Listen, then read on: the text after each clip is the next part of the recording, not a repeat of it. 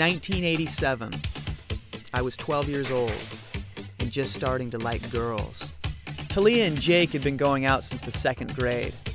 Together, they formed the most powerful popular machine at Cambridge Elementary. Up to that point in my life, I'd never really prayed for anything. But desperate times call for desperate measures. I think I'm in love with Talia Alden. I pray that she'll break up with Jake and that she'll go out with me. The only thing left was to make her mine. But I had no idea how. Time for fun run. The Kentucky Derby a field day.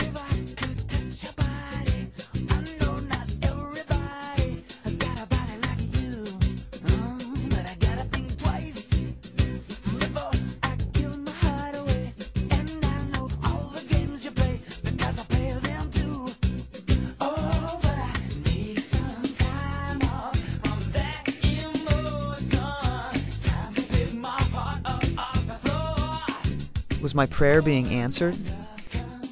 It seemed almost too good to be true.